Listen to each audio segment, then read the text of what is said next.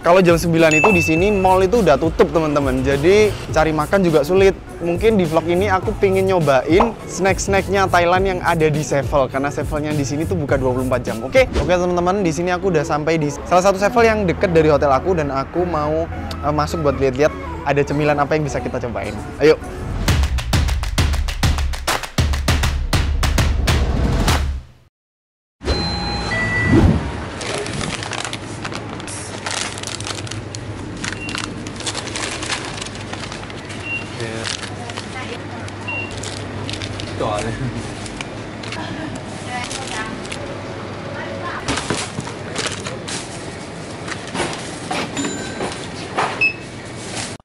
Few moments later. Oke teman-teman, jadi ini aku udah beli beberapa jajanan dari 7-Eleven dan aku bakal cobain satu-satu. Dan sekarang ini aku sudah ada di kamar hotel dan sorry banget karena kamarnya masih berantakan karena besok itu adalah hari terakhir jadi kita belum sempet buat bersih-bersih dan sekarang ini aku mau cobain makanan-makanan yang aku beli secara random teman-teman di 7-Eleven. Jadi aku nggak tahu ini makanannya apa, cuman aku lihat dari kemasannya unik, menarik, aku ambil langsung karena aku nggak bisa bahasa Thailand, aku nggak ngerti tulisan bahasa Thailand. Jadi aku cuman kira-kira aja kira-kira di dalam isinya apa. Dan di sini di depan aku sekarang sudah ada 13 item, tapi aku beli 15 item teman-teman. Eh, dua yang lainnya itu adalah ice cream dan sementara ini aku taruh di kulkas dulu di freezer supaya dia tetap dingin dan nggak cair. Jadi mungkin ice creamnya itu bakal aku makan yang terakhir aja, oke?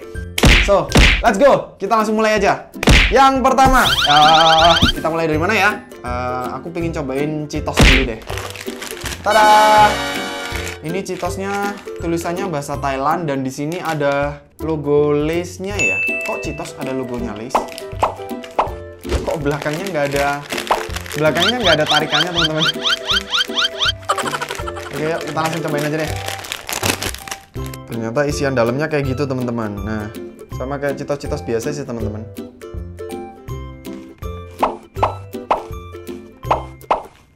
Ini sih Cheetos biasa nggak? ini nggak ada bedanya sama Cheetos Cheetos yang ada di Indonesia teman-teman ini sama aja sih. Aku kirain dia rasa lain, ternyata dia cuma rasa jagung biasa, nggak ada bedanya ini.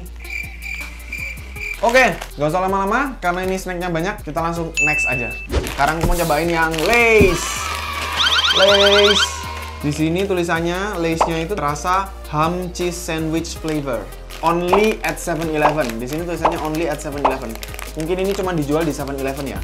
Oke, kita langsung makan aja. Ini sama juga di belakang nggak ada apa sih namanya? Dasi atau apa sih? Nggak ada yang bisa ditarik di belakangnya.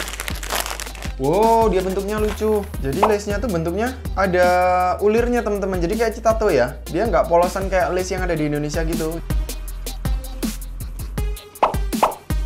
Kentangnya kerasa banget, sedikit asin sih. Cuman ya rasa hamnya juga kerasa, cheese-nya juga kerasa banget. Ini enak nih. Enak banget. Ini aku lebih suka daripada yang Cheetos yang tadi. Ini lebih enak. Oke, next aku mau cobain uh, yang ini aja. Apa ini? Crispy Noodle Snack. Mereknya Baby Star. Mereknya atau namanya aku juga nggak tahu nih. Baby Star gitu. Kayak mie kremes gitu deh kayaknya. Nah, isinya kayak gitu teman-teman. Kayak soba mie ya. Mirip kayak mie soba itu loh. Kita langsung cobain. Dia kayak rasa barbecue ya. Di sini bahasa Thailand semua sih tulisannya aku nggak bisa baca. Kayak mimi snack biasanya itu sih. Enak sih. Hmm, cuman hmm, nggak spesial sih. Oke next, snack yang keempat aku mau cobain ini aja deh yang besar nih. Semua semua di sini tulisannya bahasa Thailand aku jadi nggak ngerti nggak bisa baca. Langsung cobain aja.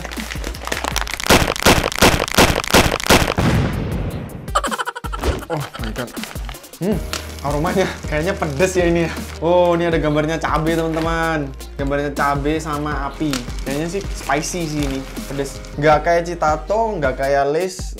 Lebih mirip kayak taro ya. Jadi dia jaring-jaring gini loh teman-teman. Di sini kalau kalian bisa amati ada serbuk-serbuk bubuk cabenya. Kayak ada rasa paprikanya, kayak ada rasa bubuk cabenya juga tapi sedikit sih ini sama sekali nggak pedes teman-teman gambarnya sih cabai cuman nggak pedes sama sekali sih enak sih cuman nggak nggak pedes sama sekali Oke next sekarang snack yang ke lima sekarang snack yang kelima ya kamu mau cobain yang asin-asin dulu aja deh Ini aja deh, wasabi coated green peas. Jadi kayak kacang yang luarnya dikasih lapisan uh, wasabi. Harusnya pedes ya ini ya. Ya penampakannya kayak gini teman-teman. Kayak kacang polong ya. Wow. Wow. Wow. Ini aku baru makan satu aja wasabinya udah kerasa banget. Lumayan pedes sih. Ini lebih jauh lebih pedes daripada yang snack yang tadi yang gambar cabai itu, yang ada gambar cabenya itu. Pedes banget. Begitu digigit, aromanya udah langsung rasa khas wasabi banget. Tapi kacang di dalamnya itu sama kayak kacang polong biasa sih. Cuman coatingnya itu yang rasa wasabi dan itu enak sih. Ini enak nih. Next saja. Oke, berikutnya aku mau mulai makan yang manis-manis aja. Oke, sekarang kita cobain ini deh, milk tablet. Aku udah pernah nyoba sih di Indonesia ini permen yang bentuknya kayak tablet terus rasanya susu. Jadi dia itu bentuknya kayak obat tablet gitu terus ada gambar kepala sapinya gini teman-teman rasa susunya kerasa banget tapi lebih kayak susu bubuk. Ya mirip sama yang uh, ada di Indonesia sih. Ini nggak jauh beda. Sama sih. Jadi nggak spesial sih. Biasa aja. Next! Oke okay, berikutnya aku mau cobain uh, Skittles. Kita cobain Skittles. Oh isinya lumayan ternyata. Warna-warni. Eh eh eh jatuh. Ya. Udahlah kelaskan aja. Ini ada yang warna coklat sama yang warna kuning. Eh orange. Warna coklat sama warna orange. Kita langsung cobain aja Hmm, dia rasa tutti frutti teman-teman. Jadi rasa buah-buahan gitu sih. Enak sih tapi buahnya nggak kerasa enak, masih kerasa enak di lidah juga nggak nggak nyelkit. Oke sih ini. Oke next, ini aja. Jack and Jill Cream O Soft Cookies. Di sini di gambarnya sih kayak cookies yang warnanya hijau gitu, terus di dalamnya ada krim coklatnya gitu mungkin ya. Oke teman-teman, jadi di sini tuh isinya cuma 3 biji dan bentuknya tuh kayak gini. Ukurannya kecil sih. Nih, cuma segini aja. Oke, sekarang kamu mau gigit ya. Ternyata di dalamnya kayak gini teman-teman. Nggak cair sih dia, coklatnya beku ya.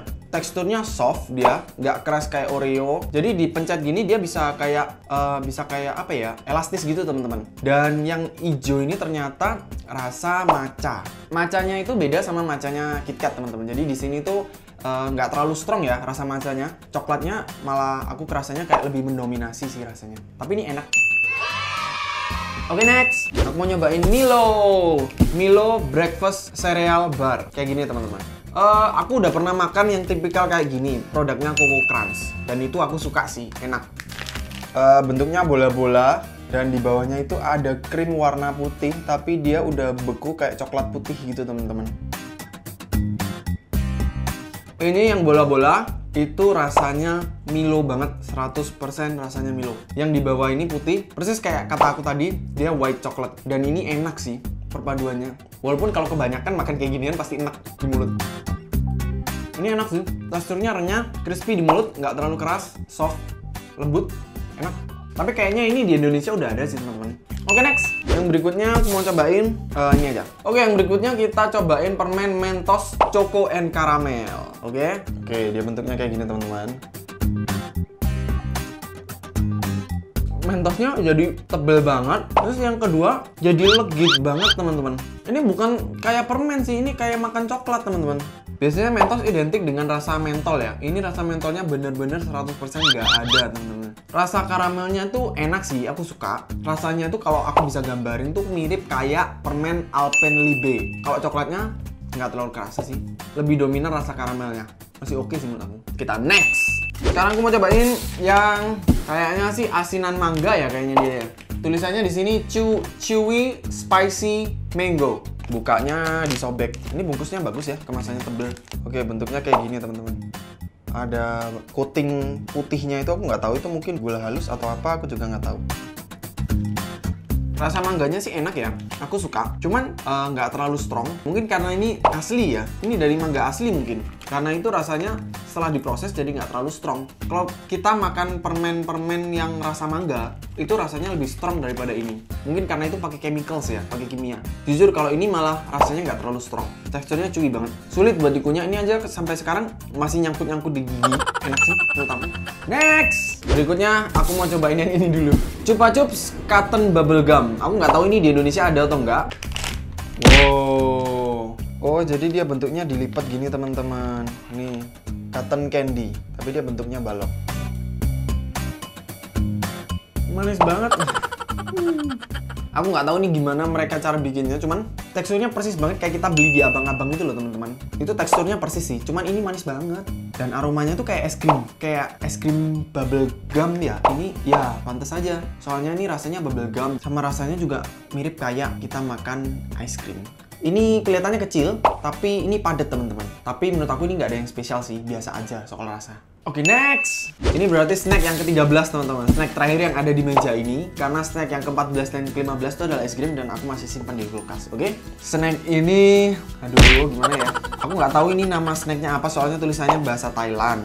Tapi di sini ada translatean bahasa Inggrisnya itu tulisannya crispy silkworm dan ada tulisan BBQ flavor. Oke, kita langsung cobain aja yuk. Oh my god, bentuknya kayak gini teman-teman. Buat kalian yang geli makan yang makanan kayak gini-gini, mending nggak usah deh. Bentuknya masih bentuk bener-bener ulat gitu teman-teman. Tapi ini ringan banget sih. Jadi kayak udah tinggal kulitnya gitu loh. Nih teman-teman. Nih ya. Oke, makan nih sekarang. Bismillah.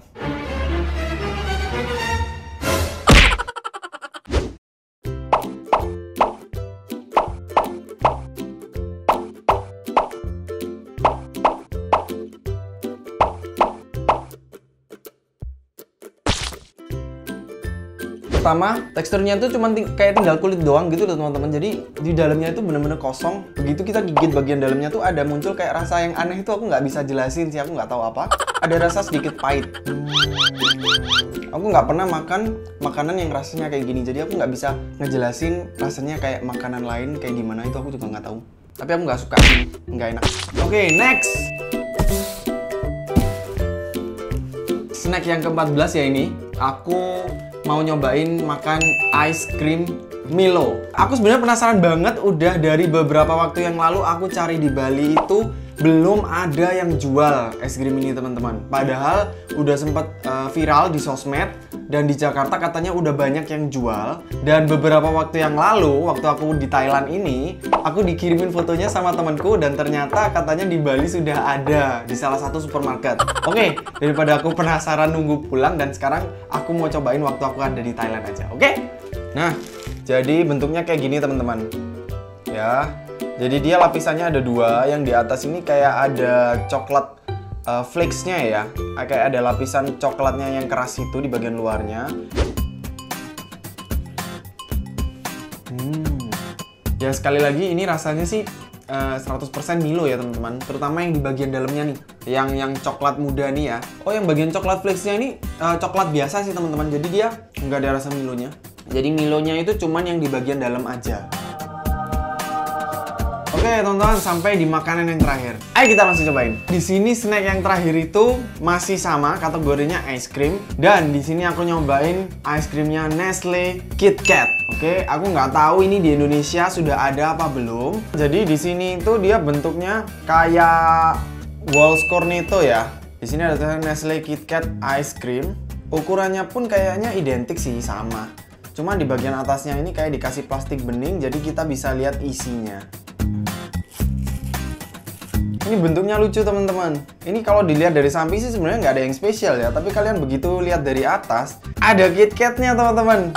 Kayak ditancepin gitu loh di bagian atasnya. Yuk kita langsung cobain aja. Wah ini rasanya KitKat banget sih.